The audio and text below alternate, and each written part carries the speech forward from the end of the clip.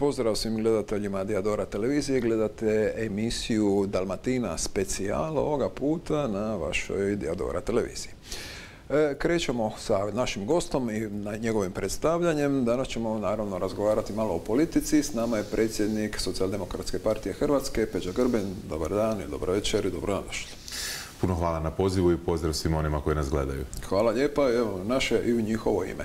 E, prvo krenimo sa rijekama pravde, vidimo plakate obljepljene po cijeloj Hrvatskoj. Zašto rijeke pravde? Pa zato što Hrvatskoj treba pravda. S obzirom da živimo u društvu koje je okovano korupcijom i nepravdom, gdje mnoge stvari ne možeš e, napraviti e, bez stranačke iskaznice, a postoje brojne koje ne možeš čak niti sa stranačkom iskaznicom, onda smo smatrali da je pravda ono što Hrvatskoj treba.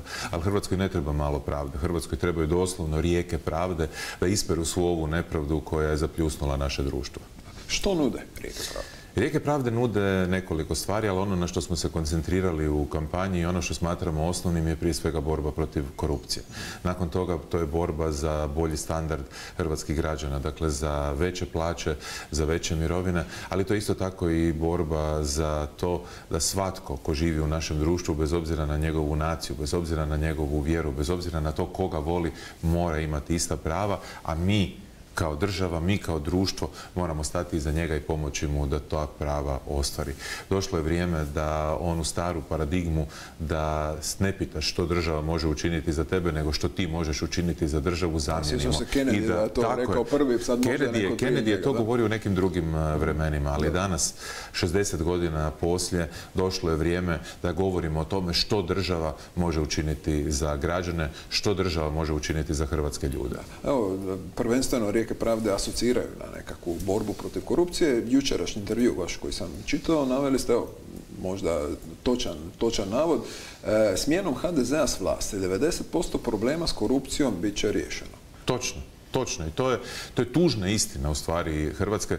Kad vi pogledate koliko je posla eh, recimo uredu Europskog javnog tužitelja ili uskoka zadao HDZ, onda je potpuno jasno gdje je izvor eh, korupcije u Hrvatskoj. Eh, međutim, naravno, bilo bi suludo reći da bi to bilo dovoljno. Treba jako puno posla i nakon toga napraviti. Ali kada njima makneš polugu vlasti iz ruku, kada im onemogućiš da kradu u INI, da kradu u HEP-u, kradu na svim onim drugim mjestima gdje su krali ili ljudi kao Lovro Kuščević koji su krali prostor mijenjajući prostorne planove ili sve ono što se ovdje u Zadru događalo, a samo da to nabrajamo uzelo bi nam strahovito puno vremena od e, zapošljavanja pa nadalje potpuno je jasno da je HDZ kao stranka ishodište korupcije.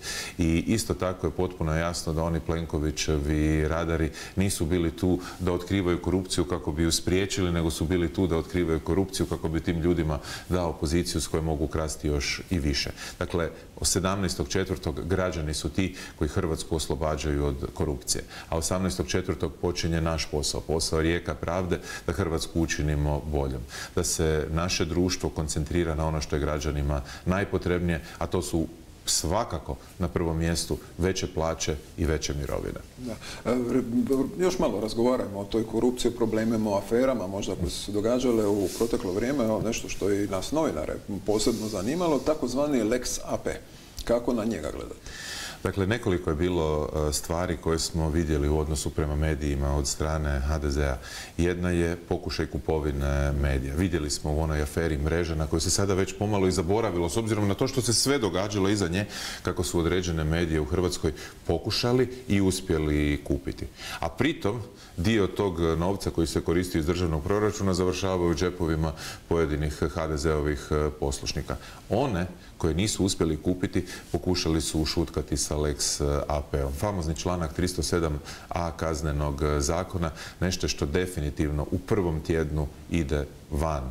To se mora promijeniti odmah pristupit ćemo odmah izmjeni tog e, zakona. Saborski zastupnici će to predložiti i na prvoj sjednici Sabora to se mijenja. Tako da ako je ne daj Bože protiv nekoga kazneni postupak po tome i započeo, izmjenom zakona on će prestati i Hrvatska će opet biti zemlja slobodnih ljudi, slobodnih medija u kojima vi A to je vaš posao. Ako vidite da netko krši zakon, o tome možete slobodno govoriti bez straha da će vam netko upasti ili u redakciju ili u vaš dom, izuzimati mobitel, laptope i sve ostalo da bi otkrili odakle informacije cure. A u slučaju sada ovog zadnjeg kojeg imamo sa Butkovićem koji je uhvaćen sa prstima u pekmezu sa famoznom Josipom Rimac, gdje je i on neke stvari e, dogovaramo, dogovarao, vidimo koliko je to rašireno. I sad, nemoguće je ne zapitati se. Samo jedan mobitel je analiziran, onaj Josip Rimac. A vi zamislite da je USKOK-u i Uredu Europskog javnog tužitelja dostupan još koji mobitel nekog HDZ-ovog dužnosnika, što bi se tamo još e, imalo za otkriti. Samo iz jednog mobitela otkrili smo radost, otkrili smo lipotu, oko moje i koliko je ta korupcija bila raširena u namještanju poslova, u dogovaranju razno raznih e, stvari. Samo preko jedne osobe.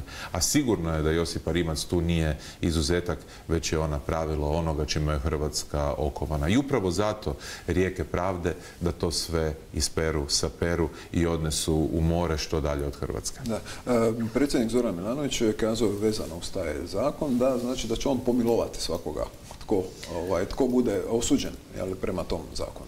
Predsjednik Republike, mislim da u ovom dijelu smijem komentirati jer ću govoriti o onome što je radio kao predsjednik Republike pa se ne nadovezujemo na ono što nam je Ustavni sud e, zabranio kao što vama novinarima kroz Lex AP stavio flaster na usta, tako su i nama e, pokušali kroz obrazloženje Ustavnog suda, ali ovdje se ne primjenjuje. Predsjednik Republike Zoran Milanović prije nego što je preuzeo mandat rekao je da pomilovanje koristiti neće. I toga se držao.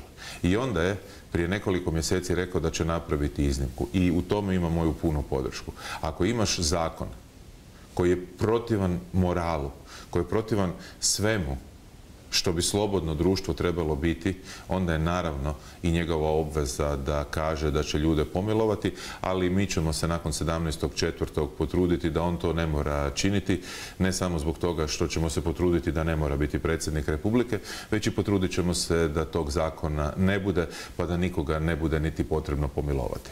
E, skočimo malo, vratit ćemo se naravno i na Zorana Milanovića, ono skočimo prije toga malo i na Turudiću. Turudić. Što reći? Dakle, taj čovjek je imenovan za glavnog državnog odvjetnika.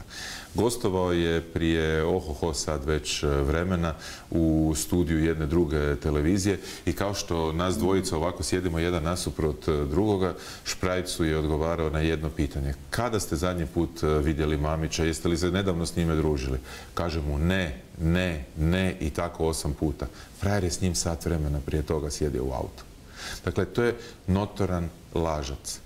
Takvoj osobi ne bi smjelo biti mjesta u pravosudnom sustavu, a kamoli da bude glavni državni odvjetnik osoba koja će voditi borbu protiv e, kriminala.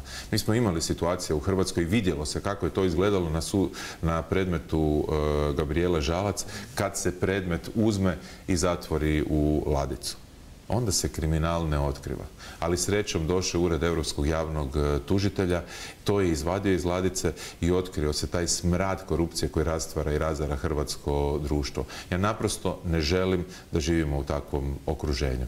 I kada razgovaramo o jednoj drugoj stvari koja je također koja je također krozota za Hrvatsku, a to je koliko nam ljudi iseljava, pogotovo koliko nam mladih ljudi iseljava. Kada se njih pita, jedan dio navodi da su to ekonomski razlozi, ali drugi nezanemariv dio, velik dio govori da iz Hrvatske ide jer jednostavno ne želi živjeti u društvu koje je korumpirano, u društvu koje je klijentelističko, u društvu koje je nepotističko, u kojem ne možeš napredovati ako nemaš vezu, poznanstvo ili tako dalje ili što bi Vojko V rekao, zov čovka. A ja ne želim da ti u Hrvatskoj moraš zvati čovka da bi dobio posao, da bi dobio radno mjesto, da bi dobio svoj termin eh, kod eh, liječnika ako trebaš eh, nekakvu operaciju ili samo pregled. Znači sposobni, a, ne podobni. Pa apsolutno. Sposobnost. Sposobnost je ključ našeg društva. Pa pogledajte naše ljude koji odu izvan Hrvatske, koji odu u Njemačku, koji odu u Irsku, koji nakon nekog vremena postanu strahovito poznati i uspješni. Zašto? Zato što ih u tom društvu ne pitaju tko su, čiji su, da li imaju nekakav background u nekoj stranci ili nešto, nego im daju da budu sposobni i daju im da budu ono što jesu. E pa ja želim da ti ljudi takvi budu u Hrvatskoj. Jer oni to u Hrvatskoj mogu biti. I onda će naša zemlja procvasti i onda će naša zemlja biti opet uspješna i poznata ne samo zato što je prekrasna, ne samo zato što imamo predivnu obalu, predivno more, što je užitak sada na rivi ovdje u Zadru popit e, kavu, nego i zato što smo zemlja uspješnih ljudi koji stvaraju stotine proizvoda, koji otkrivaju nešto novo. U krajnjoj liniji mi smo zemlja Nikola Tesla. Da, točno tako. Točno. Da ne navodimo i kolikog broja vrhunskih sportaša. Jel? Pa, to, to, to, jedna druga, jedna druga to, dolazim, dolazim iz e, Šibenika gdje sam e, danas bio kad govorimo o vrhunskim sportašima od Dražana Petrovića, Arijana Komazeca, Stojka Vrankovića ili jednog kojeg sam obožavao, Petranovića. Da, da, da. kako je on skakao? Kako je taj čovjek skakao u publiku, pa to i do koliko je igrao? Do 40? Da, pa on je još u Sloveniji poslije igrao. Do 50. mi se čini da je igrao. Znači, ne znam sad više točno godinu, ali već u dubokoj, za sportaša bi rekli starosti. U dubokoj starosti, a mi ćemo reći u mladosti obojice, jel tako? Točno, Tako je, slažem se, potpuno. Evo pa sad, e, Pino Đerđa, koji također koji je prešao, čini mi se 80 i nešto, još uvijek je skoro sad igrao na veteranskom turniru, no čini mi se da se malo zlijedio pa nije nastupio. Pinu Đerđu nisam imao prilike upoznati, ali njegovog sina jesam na nekim pripremama reprezentacije prije ohoho godina. Mislim da je on sad vrlo, vrlo uspješan e, trener. Da, ovdje, ovdje u Zatru. Je, je. Mlađih pogona. Da. To zasigurno, evo, e, spomenuli ste ljude, iseljavanje, odlazak mladih. E, kažu da vani je zapravo još jedna Hrvatska, koliko ljudi, evo, stotine tisuća su iselile posljednjih godina, kažu da vani u emigraciji, imigraciji, u iseljeništvu, da tako lijepo kažemo, da je više stanovnika nego li što je Hrvatska e, po nekim, po, nekim podacima da, ako gledamo i drugu i treću generaciju, ili baš sa ovog područja ovdje, predsjednik Čilea, Borić, on je upravo iz e, ovih e, krajeva otišao djed ili tako, mm. tako nešto. Da, definitivno, jako velik broj ljudi je tamo i kada govorimo o tome kako ih vratiti, jako teško ako nećemo promijeniti uzroke zbog kojih su ti ljudi otišli. Ako se mi pravimo kao da nekih razloga za odlazak nema, onda ih vratiti ne možemo ni sa čim. Ali tu i tamo se dogodi neka iznimka pa se neko i vrati. Bio je jedan program vlade kojeg je Plenković onako slavodobitno prikazao prije dvije godine. Jedan moj dobar prijatelj se vratio iz Kanade. I htio je vidjeti što od tih poticaja može iskoristiti pitao mene Peđa gdje da ja odem, ja mu rekao pa koliko znam Zavod za zapošljavanje ti je početna točka, oni bi trebali biti nositelj e, projekta, u krajnjoj liniji ako nisu, valjda će ti znati reći. To je onih famoznih 200 tisuća kuna. Je, onih famoznih 200 tisuća kuna. I moj prijatelj, da ga ne imenujem, dođe tamo, ovi ga gledaju kao da je pao s Marsa, ne iz e, Kanade. Nije bilo jasno da se neko uopće pojavi. Oni nisu imali pojma šta napraviti u toj e, situaciji. Mislim, to je tragikomično. Obećaš jedan projekt, slavodobitno ga najaviš, onda pričaš o njemu na sva zvona, a danas e, kada pogledamo rezultate tog e, projekta vidjet ćemo da ga je iskoristilo stotinjak, 200, 300 ljudi uglavnom kao u slučaju mog prijatelja koji se već odlučili vratiti, pa onda kad su tu, zašto ne bi iskoristili ono što im je na raspolaganju. Međutim, moramo poći od uzroka zašto su ljudi otišli.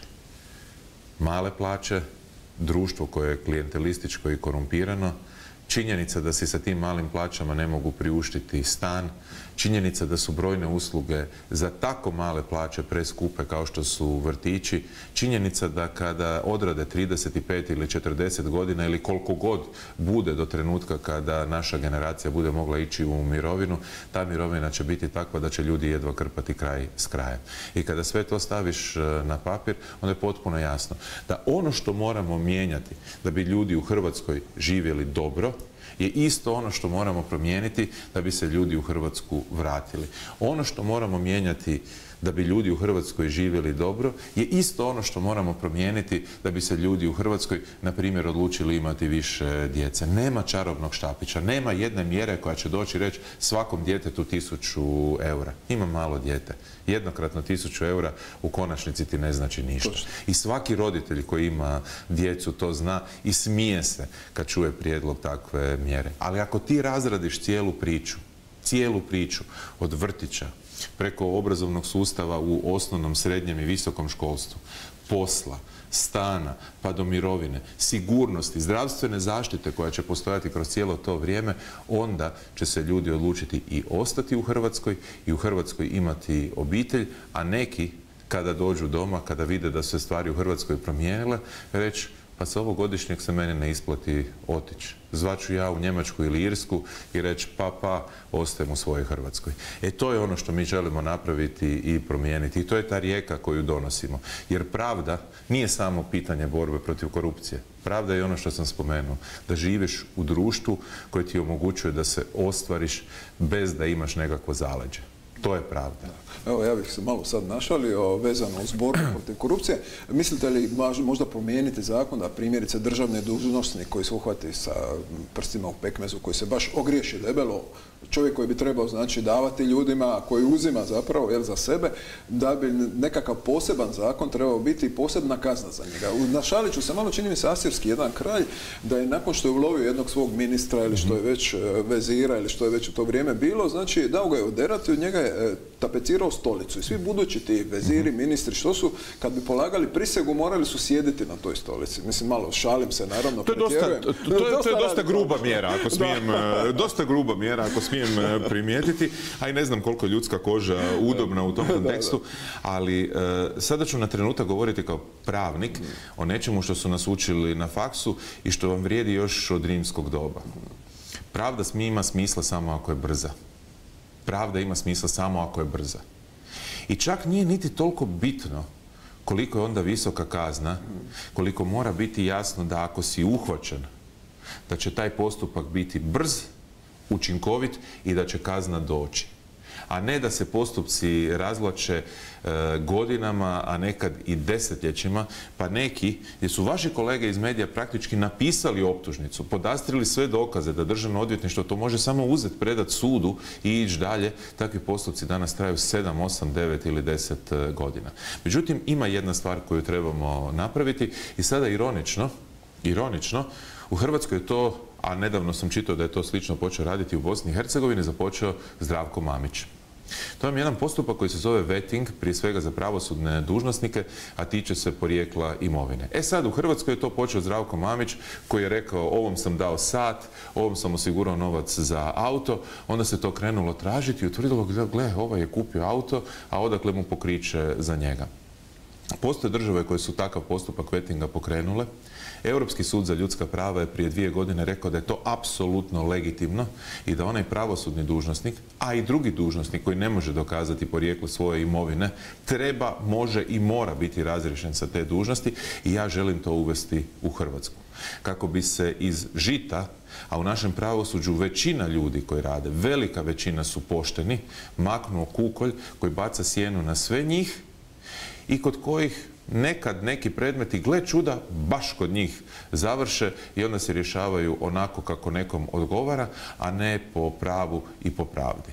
Dakle, postoje načini kako osigurati da se borba protiv korupcije vodi učinkovitije. Mi ih znamo i nismo otkrivali toplu vodu.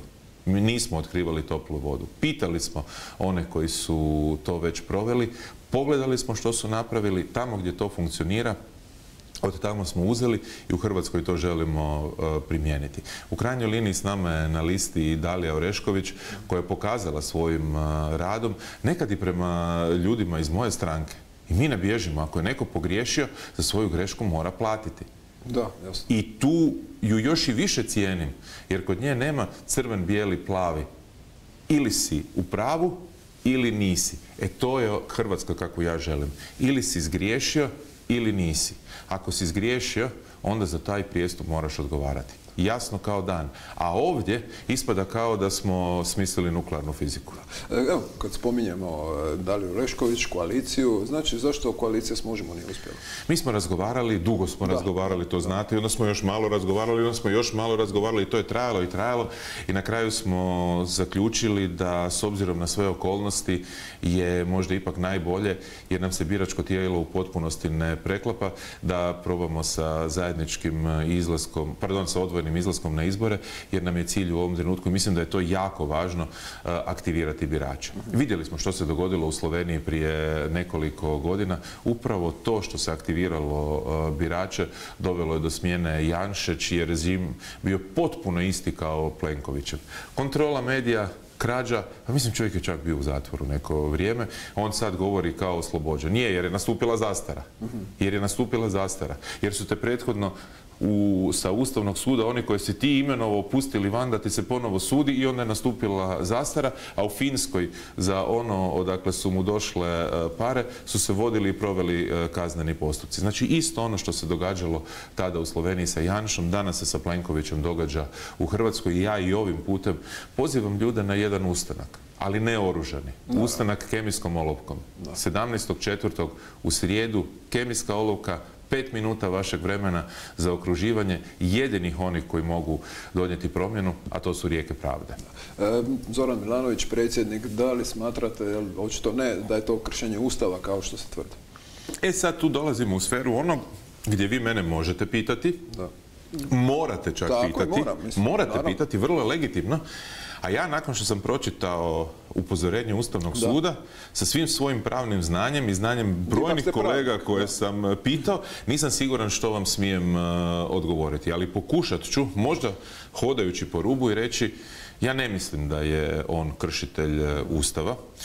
Ja a u krajnjoj liniji i jedan dobar broj sudaca Ustavnog suda. Ja bih tu samo kratko bih rekao da ste e, u, ovoj situaciji, da su vas doživjeli mnogi mhm. kao čovjeka znači koji je e, maknuo na stranu svoj ego da bi došao do ovoga, da bi napravio boljitak što se tiče stranke i izbora. A ja bih rekao i Hrvatske, jer je situacija doista takva da su ovo možda i najvažniji izbori od 2000. godine, jer mi se borimo i za demokraciju. Jer mislim, je li normalno da mi u 2024. godini ovu našu emisiju praktički započinjemo raspravom o korupciji, raspravom o slobodi govora? Umjesto da se koncentriramo na to kako da našu ekonomiju učinimo uspješnijom. Mi tek trebamo doći do toga. Dakle, ovo je za Hrvatsku prijelomni trenutak. Pljačka je toliko, toliko uzela maha da je moja odluka bila vrlo jednostavna. Napraviti sve što mogu da se ovome što se sada događa, a za što prođete ulicom, pričajte s ljudima, pitajte ih, za što svi znaju da nije dobro, da se to promijeni. I u tom trenutku ego gurnut ispred toga, pa to ne može biti normalna osoba. Nema, egu mjesta nema. U ovom trenutku, u ovom poslu, egu mjesta nema samo ono što je najbolje za Hrvatsku. I mi mislimo da smo to napravili sad kad se vratimo na trenutak na ovo što smijem ili ne smijem reći oko Zorana Milanovića, Mislim da je to bio dobar potez, mislim da je to bio nužan potez, ne mislim da time kršimo Ustav, ali i primijetit ćete, nakon što je Ustavni sud 18.3. donio svoje upozorenje i uputio nam ga, da smo se mi ponašali u skladu s time. Zašto? Zato što želimo pokazati da ti svoj posao u Hrvatskoj možeš napraviti, a da pritom poštuješ institucije, čak i kad se s njihovim odlukama ne slažeš. A to je ono što HDZ nije u stanju.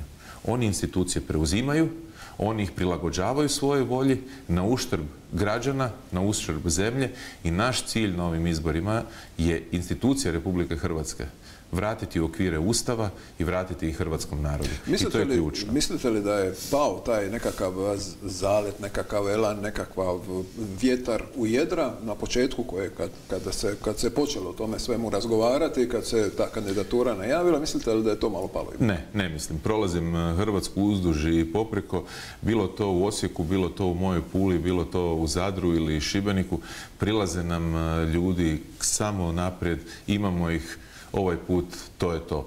Dakle, energija koju doživljavam gdje god da krenem, ono može se rezati nožem. To je stvarno naelektrizirano i ljudi znaju i svjesni su što je u ovom, na, u ovom trenutku na vagi. Jer to nije ona samo korupcija, nego i spomenuli smo. Mirovine. Ako razgovaramo o njima, ako razgovaramo o njima, pa Imate vi u svojoj obitelji, u, u svom krugu poznanika ljude koji primaju mirovinu od 250 ili 300 ili 350 eura. Ja se njima divim. Ja se njima doista divim kako uspiju preživjeti e, mjesec. E, besplatni vrtić? Besplatni vrtić je još jedna stvar. Inače, kad smo krenuli u nekakvu pripremu za realizaciju te mjere, ja sam očekivao da će cifra s kojom ćemo izaći van biti ogromna, da će biti nešto zbog čega se to nije napravilo i što će biti razlog koji će mi dati za pravo, evo, zbog toga se niko nije odlučio za besplatne vrtiće i ti onda shvatiš kada to izračunaš, pitaš Borisa Lalovca, pitaš Branka Grčića, oni ti kažu dobro si računao Peđa, dobro su računali naši iz savjeta za obrazovanje, ispadne 1% proračuna godišnje. I sad vas ja pitam, ako za osnovnu školu ne tražimo da roditelji dodatno participiraju, zašto bi tražili za vrtiće kad to košta jedan jedini postotak godišnje? Preko 150 tisuća djece u vrtićima je, mislim da taj iskorak za roditelje moramo napraviti i da je to obveza našeg društva. I moguće što je najbolje od svega. Kako mislite stanogradnju, recimo, jel stanove za mlade posebice riješiti i naravno na koji način, posljednje pitanje, mislite povećati plaću? Što se tiče stanova, uzeti primjer drugih zemalja, prije svega Austrije. Država se u stanogradnju mora uključiti. Ako može u Austriji, može i u Hrvatskoj. U protivnom, bit ćemo isključivo na vjetrometini tržišta koje u Zadru, Puli, cijelom Jadranu kvadrat stana preko 3000 eura. Pa kako to platiti? Sa plaćom koja je u Zadru je prosječna plaća oko 1000 eura. Tri mjeseca za jedan kvadratni metar stana. Nemoguće. Zato se država u to mora uključiti. A plaće u suradnji sa poslodavcima ne nametanjem, ne e, batinom, nego mrkvom. A to je za one poslodavce koji žele povećati plaću iznad prosjeka industrije o kojoj se radi, mi ćemo ih u razmjeru sa tim povećanjem osloboditi od plaćanja poreza na dobit. I teret ćemo podijeliti između države i poslodavca kako bi radnik dobio više. Hrvatska je prošle godine imala solidan rast BDP-a. Super. Ali da li su od toga koristi imali hrvatski radnici? Nisu. Inflacija je u velikoj mjeri pojela rast tih plaća. Čak u prvom mjesecu, iako su ovi promijenili devet zakona, imali smo pad prosječne bruto plaće u odnosu na prosinac. Realnost. Da, evo samo, za kraj još znači porast cijena, inflacija, trgovinski centri koji možemo slobodno reći, veliki trgovinski centri, e, cijene u Njemačkoj e, niža nego li u Hrvatskoj. Kako? Dakle, imamo dva sektora koji su posebno profitirali u ovoj krizi, to su banke i velike trgovački lanci. I zato mi govorimo o porezu na ekstra profit.